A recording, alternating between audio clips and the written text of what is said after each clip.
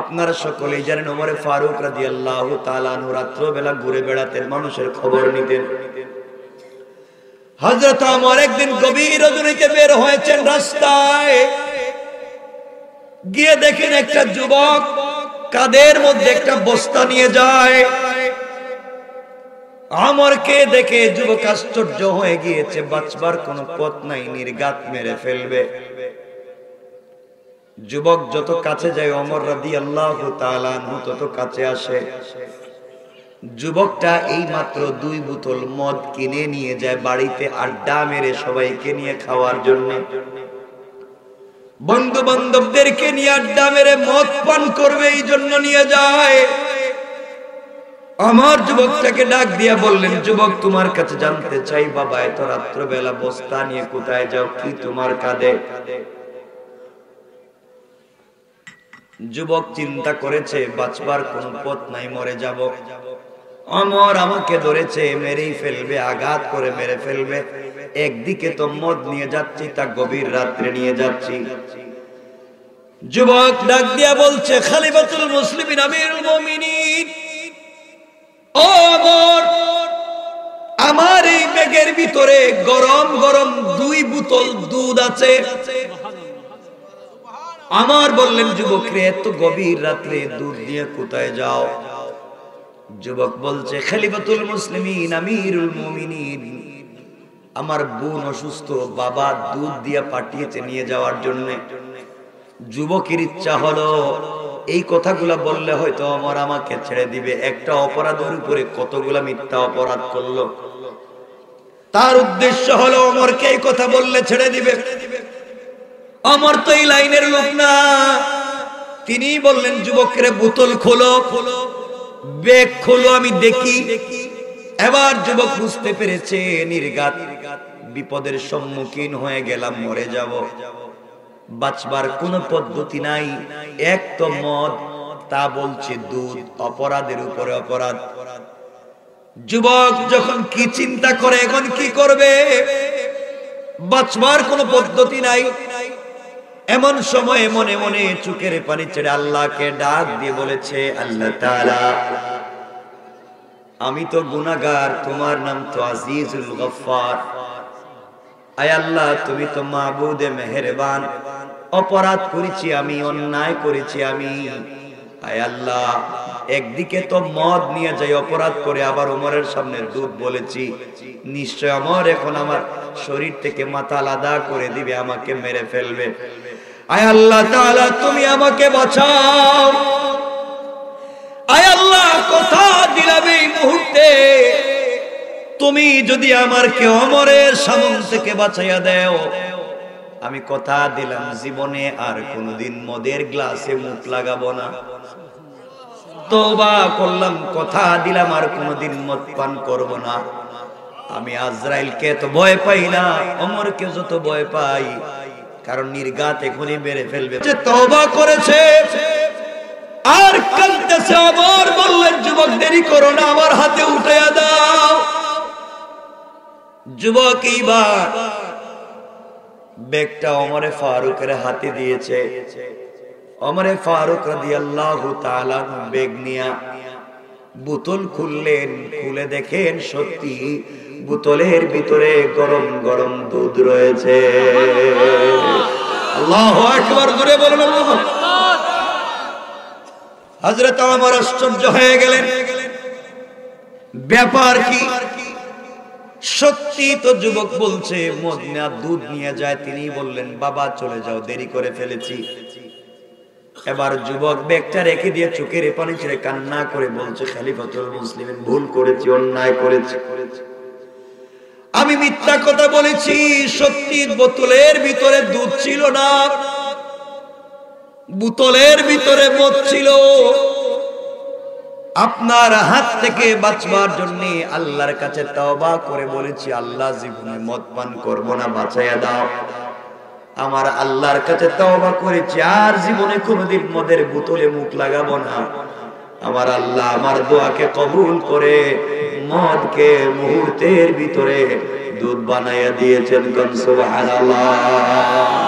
আল্লাহু আকবার জোরে বলেন। আল্লাহ পারবেন কথা বলেন পারবেন? আপনাদের কষ্ট হচ্ছে? আমরা বেশি লম্বা করব না। কষ্ট হচ্ছে আপনাদের? একটু হাত দেখান তো দেখি কারা কারা কষ্ট পাইছেন। আরে বাবা, আমি বলছি কারা কারা কষ্ট। তো কথা শেষ হওয়ার আগেই তো হাত উড়িয়ে দিলেন।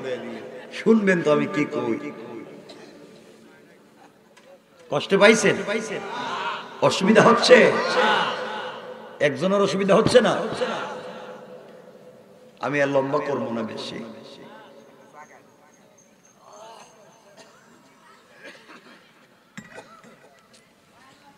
কথাগুলো মনোযোগ দিয়ে শুনেন, আসলে কি বলতে চাই শুনে আমার বন্দেগান সুতরাং রব বলেছেন, যত বড় অপরাধী হন, মাফ করে দিবেন কে? আল্লাহ মাফ করে দিবেন। এজন্য আমরা গুনাহ করলে কার দরবারে যাব? আল্লাহর দরবার কই? আর নাই? আর কই? আর নাই। আল্লাহর দরবার, আল্লাহর জায়গা তো সব জায়গা। আপনি নিজের ঘরে বসে দোয়া করেন না কেন? আপনি নিজের ঘরে বসে ইবাদত করেন না কেন? দুনিয়ার জমিনে আল্লাহকে ডাকেন। আল্লাহ বলছেন, বান্দা, তুই আমার কাছে চাইবে যা, তার চাইতে হাজার গুণ বেশি আমি দিয়ে দিব। আমি শেষ করতেছি যে কথাগুলা বলে। আপনাদেরকে দুরাকাত নামাজের কথা বলি, শেষ করে দিচ্ছি। দুরাকাত নামাজ পড়বেন। সালাম ফিরাবার আগে সেজদায় গিয়া, রুকুতে গিয়া সেজদা রুকুর মধ্যখানে দোয়া করবেন। নিজের বাসায়, নিজে যেভাবে পারেন আপনি দোয়া করবেন। নামাজ শেষ হওয়ার আগে আপনার সব দোয়া আল্লাহ কবুল বিশ্বাস হইল না? না, একটু বিশ্বাস হয় নাই। আপনাদের টাকা পয়সার দরকার আছে? না কয় না কয়? আমারে কয়া লাভ কি না? ভিতরে ভিতরে তো সবারই দরকার আছে। টাকা পয়সা লাগবে না? ইজ্জত সম্মান লাগবে না? রব বলেছেন, সম্পদ যদি চাও, ইজ্জত যদি চাও, জান্নাত যদি চাও দুরাকাত সালাত পড়ো, সালাম ফিরাবার আগে তোদের সব দোয়া কবুল। সবাই বলেন না পড়বেন তো দুরাকাত নামাজ? এই দুরাকাত নামাজ হচ্ছে সলাতুল হাজত। সলাতুল জাত চাইবেন তাই পাইবেন নিয়ম মেনে যদি পড়েন, সালাম ফিরাবার আগে খবর আমি কি বলব? বুঝাই দিব? এগারোটা হয়ে গেছে, দেখতেছি। আর আপনাদের অসুবিধা হইতেছে মনে হয়।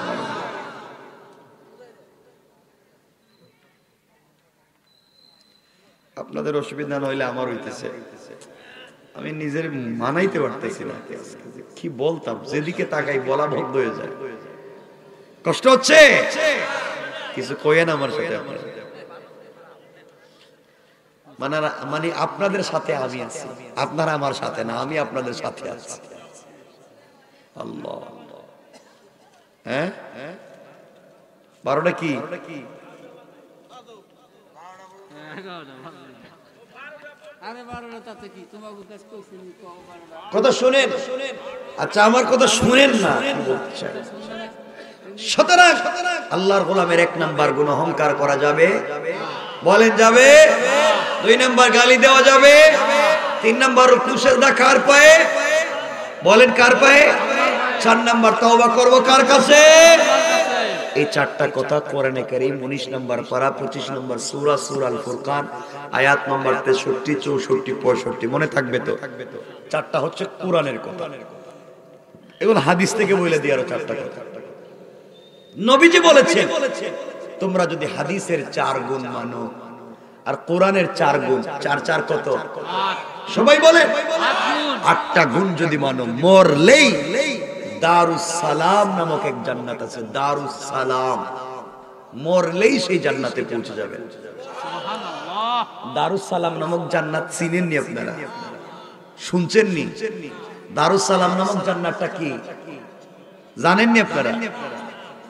দারুস সালাম তো ওই জান্নাতের নাম। যেই জান্নাতে বান্দা থাকবে বসা। হীরা জবরজত ইয়াকুত মনি মুক্তা পাথর দিয়ে তৈরি করা। এক একটা চেয়ার জমিন থেকে আসমান পর্যন্ত উঁচা। এই চেয়ারে বসে থাকবে জান্নাতি বান্দা আর আল্লাহ নিজে দাঁড়াইয়া দাঁড়াইয়া তার বান্দাদেরকে সালাম দিবেন। সালাম। জোরে বলেন না সুবহানাল্লাহ। তার নাম দারুসালাম এই জান্নাতে যাওয়া লাগবে। এই জান্নাতে যেতে হলে গুণ লাগবে কয়টা? আটটা। কোরআনের চারটা, হাদিসের চারটা। আপনারা এখানে কেউ আছেন না এমন? দুশ্মন নাই? না, কারও দুশ্মন নাই। এমন কোন দুনিয়া পাবলিক আছে যার দুশ্মন নাই? মনে রাখবেন যে দুরাকাত সলাতুল হাজত যদি পড়েন, কোন দুশ্মন থাকবে না। এক কোটি অ্যাটেম এক কোটি তরবারি নিয়ে যদি আপনার সামনে কেউ দাঁড়ায় আপনি কোরআন থেকে তিলাওয়াত করেন, রব বলেছেন, এক কোটি লোক তার সামনে দাঁড়াবে, কিন্তু আমার বান্দাকে দেখবে না। সুবহানাল্লাহ বললেন না কেন? অনেক লম্বা হয়ে যাবে বললে। আরে না, খালি বলেন। শুনেন কি বলতে চাই। সুতরাং দুশ্মন থেকে বাঁচবার জন্য শুধু তাবিজ কবজ না, তিলাওয়াত করবেন কোরআন শরীফ। আপনারা তো কিছু হলেই হুজুরের কাছে তাবিজের জন্য যান। তাবিজ দিয়ে কি ব্যবসা শুরু করে দিয়েছেন তাবিজ দিয়ে। সব যারা যারা এই যে তাবিজ দেয়া, কুফুরি কালাম করে হারাম হারাম। এগুলা কি? বিশ্বাস হয় না? হুজুরদের তো কোনো কাজ নাই। হুজুররা তাবিজ লেখা দেয়, একটা দিবা বালিশের নিচে, একটা দিবা কবরস্থানে, আরেকটা কোন জায়গায়? গলায়। আরেকটা কই? সুলার ভিতরে দিবা সুলার ভিতরে যেন জ্বলে। আর আরেকটা দিবা কপালে ঠাডা পড়বার জন্য। যে তাবিজ লেখছে তার যেন কপালে ঠাডা পড়ে। লিখে দিল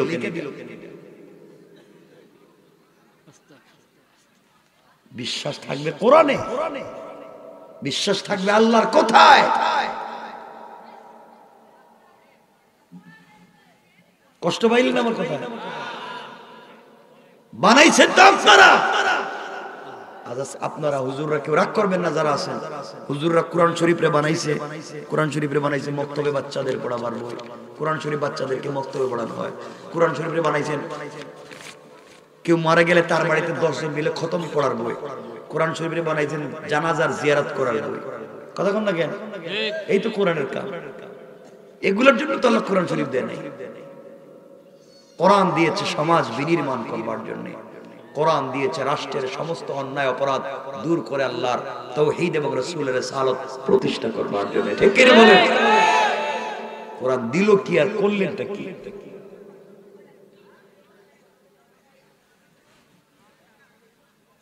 মনে রাখবেন, এই জমিন হচ্ছে আল্লাহ। এই জমিনে হুকুম চলবে আল্লাহ। কোন দুনিয়ার কোন মানুষের হুকুম এই জমিনে চলবে না। হাদিসের চার গুণের এক নম্বর নবীজি বলেছেন, আফসুস সালাম। এক নম্বর, তোমরা যারে পাও তারে সালাম দেও। কি দেও? এজন্য আজকে থেকে বাসায় গেলে বউরেও সালাম দিবে। আজকে দরজায় গেবে দাঁড়ায় বলবেন, বউ আসসালামু আলাইকুম ওয়া রাহমাতুল্লাহ। বউ কই বউ মা হেরে আজকে কোন মুতে ধরলো? জীবনে সালাম দেয়নি আজকে দেখি নতুন সালাম শুরু করল সত্তর বছর পরে। আপনি বলবেন ভূতে ধরে নাই। ওয়াজ কাজে লাগছে, ওয়াজ। ইনশাল্লাহ সালাম দিবেন তো আজকে। মুরব্বী যারা আছে, হেরা, কি? আমার চেহারার দিকে তাকায় দিবেন আজকে তাইলে বোঝা গেল ওয়াজ কাজে লাগছে। নবীজি বলছেন, আফসুস সালাম। দুই নাম্বার, কথাগুলো বুঝবেন তাহলে শেষ কথা বুঝবেন। দুই নম্বরে বলেছেন তুআম। যার ঘরে খাবার নাই, তার ঘরে খাবার দেও। আপনার ঘরে দশটা আইটেমের খাবার আছে। প্রতিবেশীর ঘরে এক বেলার খাবার নাই। আপনি যত তাহাজ্জুদওয়ালা হন, জান্নাতে যাইতে পারবেন না। প্রতিবেশীর হক দেন এই জন্য নবীজি বলতেন যে যখন তোমরা তরকারি রান্না করবা একটু ঝুল একটু বেশি দিও। যেন আমি পাশের গড়ের মানুষকে হলেও সহযোগিতা করতে পারি। আর আপনি কুরমা পোলাও বিরিয়ানি নিজে একা একা খান। আপনার দশটা আইটেম পনেরোটা আইটেমের খাবার। আর পাশের ঘরের লোক মাসে একদিন এক বেলা ঠিক মতো খাইতে পারে না। আপনি খবর নিলেন না। আপনি যত বড় পীর বুজুর্গ হন জান্নাতে যাইতে পারবেন না। ঠিক। কথা ঠিক আছে তো। প্রতিবেশীর খবর নিবেন তো? আপনার বাচ্চার হাতে একটা আপেল দিয়া রাস্তা বাইর করে দিলেন অথচ প্রতিবেশীর বাচ্চারা বছরে একদিন একটা আপেল হাতে পায় না। আপনি হারাম কাজ করেন। আপনাকে বাচ্চাকে দিতেই হয় গোরের ভিতরে রাখবেন। আর যদি দিয়ে বাহিরে দিতেই হয়, অন্যের বাচ্চাকেও দিবে কথা ঠিক তো? হক নষ্ট করবেন না। প্রতিবেশীর হক দিবেন। প্রতিবেশী হিন্দুনি বৌদ্ধনি ইহুদিনি খ্রিস্টাননি জানবার দরকার নাই। প্রতিবেশী মানুষ নি এটা দেখবে। প্রতিবেশীটা মানুষ কি না? যদি মানুষ হয়, তাই হক দিবে। ঠিক আছে তো ইনশাল্লাহ আপনার ঘরে মাছ রান্না করেছেন বা খাসি রান্না করেছেন, আপনার পাশের ঘর হিন্দু, ও সারা বছরে একদিন বেচারা এটা ভালো মাছ খাইতে পারে না, এটা গুস্ত খাইতে পারে না, আপনি তার ঘরে দিয়ে দেন। রব খুশি হয়ে যাবেন সুবহান খেদমতে খাল আমার নবীজি কেমন ছিলেন? এজন্য আত্মীয় স্বজনদেরকেও দূরে আত্মীয় স্বজন হলেও তাদের হক দিবেন। নবীজি বলেছেন তিন নম্বর ওসিলুল আরহাম আত্মীয়তার বন্ধন ঠিক রাখো। কি এর বন্ধন? আত্মীয়তার বন্ধন। আত্মীয়তার বন্ধন তো আজকালকে নাই। ছেলেরা বিয়ের আগে মা বাবার কথা শুনে। বিদেশে তাকে, ঢাকা শহরে তাকে ইনকাম করে মা বাপকে টাকা দেয়। আর বিয়ার পরে তার লাইফে তার বউ, তার শালি, তার শালা, তার শ্বশুর, শাশুড়ি ছাড়া তার সৌকে আর কিচ্ছু দেখে কথা কথা ঠিক কিনা বলেন? আসেনি এলাকায়? মারে দেখতে পারে না। মারে কই বুড়া? মারে দেখতে পারে না। বাবাকে দশটা টাকা দেয় না। অথচ শ্বশুর বাড়ি গিয়ে শাশুড়ি কয় আম্মা, আপনি আঙ্গুর খাইবেন না, আপেল খাইবেন। একথা না এই শয়তান নাই এলাকা নাই? শয়তান খুঁজে বিয়ের পরে শ্বশুর বাড়ি শাশুড়ির নামে অ্যাকাউন্ট করে ব্যাংকে অ্যাকাউন্ট শালার নামে অ্যাকাউন্ট নিজের ভাই যদি টেলিফোন দিয়ে বলে, ভাই আমি এসএসসি পরীক্ষায় গোল্ডেন জিপিএ ফাইভ পাইছে। আমারে তুমি একটা দামি মোবাইলের দরকার নাই। এটা দুই হাজার টাকা দিয়ে একটা মোবাইল দিলে আমি খুশি হম কদর সারা বছর তোদেরকে খাওয়াইতে খাওয়াইতে জিন্দগি শেষ। কলিজা নষ্ট করলাম। আর না। আর শালি যদি ফোন দিয়ে দুলা ভাই হ্যাঁ, আমি তো গোল্ডেন জিপিএ ফাইভ পেয়েছি থ্যাংক ইউ তোমার জন্য আইফোন দিতেছি। ঠিক একথা কর না কেন? নাই এলাকায়? কত বড় জালেম জালেম আল্লাহ মার খবর নেয় না, বাবার খবর নেয় না। সন্তান মা বাবার নামে জাগা জমি কিনে না, শ্বশুর বাড়ি গিয়ে করে। একথা কোন নাকি? এগুলো আসেনি এলাকা আসেনি এলাকা কত বড় জালেম চিন্তা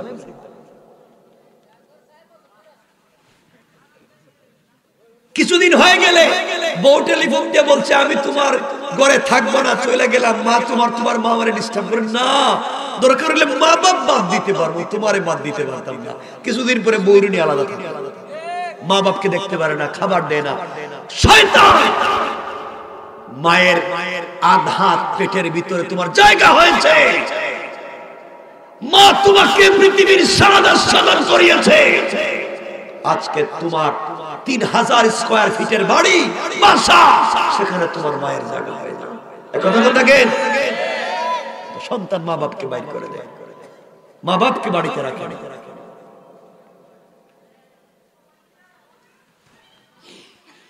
আল্লাহর ওয়াস্তে আল্লাহর ওয়াস্তে সন্তান যারা আছো, মা বাবার হক দাও। রব বলেছেন, আমার হকের পরে অবিল ওয়ালি দেইনি ইহসানা, মা বাবার হক দাও। মা বাবার হক দাও। এজন্য আল্লাহর ওয়াস্তে মা বাবার দিকে খেয়াল রাখবেন তো ইনশাল্লাহ মা বাবার দিকে খেয়াল রাখবেন। বাপ বুড়া হয়ে গেছে। বাপকে কিছু বলতে পারো না। মা বুড়া হয়ে গেছে, খবর নেও না। তুমি তোমার বাচ্চাকে যে ভালোবাসো, তোমার মনে পড়ে না? তুমি ছোট থাকতে তোমার মা বাপ তোমাকে সেম ভালোবেসেছে? তোমার মনে পড়ে না? কত রাত তোমার মা তোমার জ্বর ছিল, সারা রাত তোমার বিছানার পাশে বসে কান্না করে রাত কাটিয়ে দিয়েছে। আজ তুমি মাকে চিনো না? তোমার মা মানুষের বাড়িতে কাজ করে করে নিজে না খাইয়া মা তাই না তোমার খাওয়াইয়া বড় কথা কোন না জ্ঞান তুমি জানো না, তোমার বাবা জমিনে কাজ করেছে, বৃষ্টিতে জমিনে ভিজেছে, রোদে শুকিয়েছে। এরপরে আসে নাই, বাচ্চার স্কুলের বেতন নেওয়া আর বড় হইয়া এমনি বাপরে ছিল না, মারে ছিল। নিমক হারাম আফসোস হয়, মা বাপ কত কষ্ট করে সন্তানকে লালন পালন করে, বড় হইয়া বাপরে দেখতে পারে না। বাপরে দেখতে তো পারে না। এমন কি ঈদের দিন পর্যন্ত গ্রামে মা বাপ দেখতে আসে না শ্বশুর বাড়ি যায় কথা বলেন না কেন? আসে না নেই কসম করে বলছি, তোমার বাপ যদি মুশরিক হয়, তোমার মা যদি কাফের হয়, এরপরও তার খিদমত করা ফরজ। যে কোনো ধর্মের হোক, তার হক তাকে বুঝিয়ে দিও, নচেত জান্নাতে যেতে পারবে না। কষ্ট পাইলেন নবীজি মেরাজে গেলেন লম্বা হাদিস أخرج النسائي من طريق زهرية نوروة عن عائشة رضي الله تعالى عنها قالت قال رسول الله صلى الله عليه وسلم دخلت الجنة فسمعت قراءة فقلت من هذا فقيل حارسة بن النعمان فقال رسول الله صلى الله عليه وسلم كذلك البر وكان بر بأمه নবীজি মেরাজে গেলেন লম্বা হাদিস যাওয়ার পরে শুনেন জান্নাতের ভিতরে নবীজির আগে কোরআন শরীফ তিলাওয়াত করতেছে সুবহানাল্লাহ জোরে বললেন না জিব্রাইলকে জিজ্ঞাসা করলেন, ও জিব্রাইল, জান্নাতে আমার আগে কি কেউ আসছে? ইয়া রাসূলুল্লাহ, না। তাহলে কোরআন তিলাওয়াত করে কে? জিব্রাইল বলছেন, ইয়া রাসূলুল্লাহ, আপনি একটু ফলো করেন কে? নবীজি ফলো করে দেখলেন, এটা তো পরিচিত তেলাওয়াত। আমার সাহাবী গরিব, খেতে পারে না, তিন বেলার খাবার নাই, গরিব মানুষ কাজ করে খায়। হারিসা ইবনে নোমান, তার কোরআন তিলাওয়াত। জিব্রাইল, হারিসা তো দুনিয়া জিন্দা, ছোট মানুষ। তার আওয়াজ জান্নাতে আসলো কেন? জিব্রাইল জবাব দিলেন, ইয়া রাসূলুল্লাহ, ইয়া হাবিবাল্লাহ, পয়গম্বর আরবি, হারিসা ইবনে নোমান গতকালকে মাকে সন্তুষ্ট করেছে। মাকে সন্তুষ্ট করেছে। মা তার উপরে সন্তুষ্ট হয়ে আল্লাহর দরবারে হাত উঠাইছে। আল্লাহ তার মায়ের দোয়াকে কবুল করে নিয়া হারিসা দুনিয়ার জমিনে জিন্দা থাকা অবস্থায় আল্লাহ খুশি হয়ে তার কোরআনের তিলাওয়াতকে জান্নাতে রেকর্ড করে দিয়েছে। সেটা হচ্ছে খেদমাত। গোটা দুনিয়ার মানুষকে সারা জিন্দগি খাওয়াইয়া খুশি করতে পারব না। মা বাপকে কিছু না দিলে হাসি মুখে কথা বললেই খুশি হয়ে যাবে।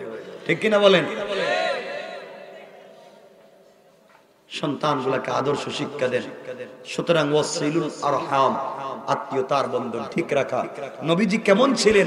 নবীজি আত্মীয়তার বন্ধন শুধু ঠিক রাখেননি। তাকে যিনি দুধ পান করিয়েছেন, হালিমাতু সাদিয়া, তিনিও যখন নবীজির সঙ্গে দেখা করতে আসতেন, নবীজি নিজের শরীর থেকে চাদর মুবারক খুলে বিছাইয়া দিতেন। সুবহানাল্লাহ বললেন না? আমার রাসূল বিশ্বনবী সরকারে কায়নাত। তিনিও বিছাইয়া দিতেন। নবীজি, ঘরে কোনো ভালো খাবার আসলে, রান্না হলে পুটলা বানাইতেন, বানাইয়া নিয়ে ঘুরতেন। তো আয়সা একদিন বলছেন রাসূলুল্লাহ, আমি রান্না করলাম খাসির গোশত, আপনি কোথায় নিয়ে যান? নবীজি বললেন, দেখো, আমার খাদিজা নাই, আমি খাদিজার বান্ধবীরে খুঁজতেছি। খাদিজার সাথে কা সম্পর্ক ছিল? আমি তারই খাবারটা নিয়ে দিয়ে আসব। সুবহানাল্লাহ বললেন না। কত দূর চিন্তা করছেন আমার এজন্য আল্লাহর ওয়াস্তে মা বাপকে খারাপ পাইও না। ভালো যদি হতে চাও, সমাজে টাকাওয়ালা, সম্পদশালী হতে চাও, শরীরকে সুস্থ রাখতে পারো। সিদ্দিকে আকবরের হাদিস তিনি বলেছেন, তোমরা মা বাবার খিদমতে লেগে যাও, ইন্তেকালের আগে রব তোমাদেরকে দুনিয়ার জমিনে স্বাবলম্বী বানাইয়া দিবে। সুবহানাল্লাহ।